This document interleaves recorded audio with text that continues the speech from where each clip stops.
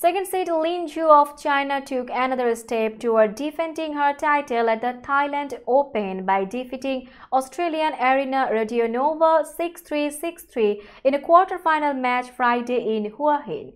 Zhu had a 5-1 edge in aces and won 22 of her 29 first service points to ease into the semi-finals. Her victory at last year's tournament marked the first tour-level title of her career. Her semi-final opponent will be unseeded countrywoman Yafan Wang, who rallied past American Katie Volynets 1-6-6-3-7-6. Number 3 seed Xinyu Wang makes it a trio of Chinese players reaching the penultimate round as she battled past Kazakh 7 seed Yulia Putintseva 613663.